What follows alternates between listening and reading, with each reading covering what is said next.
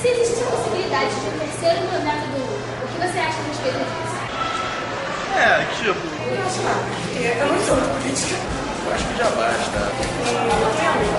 Pra mim, só tem quatro vizinhos e é burro. Acho que merda por oito anos já chega, né? Mas eu acho que é, acho difícil que ocorra uma terceira. um terceiro mandato dele.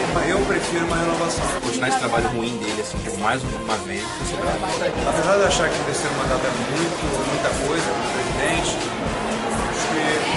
democracia que tem que reger isso. Se uma pessoa realmente tem, teve durante esses anos fazendo um bom mandato, um bom governo, as pessoas com certeza vão votar nele. você comparar o governo do Fernando Henrique com o governo do Lula, é. O governo do Lula foi totalmente superior ao governo do Fernando Henrique. Se ele realmente fez um bom mandato, ele novamente vai ser reeleito. E cabe sim a- às pessoas decidirem se vão querer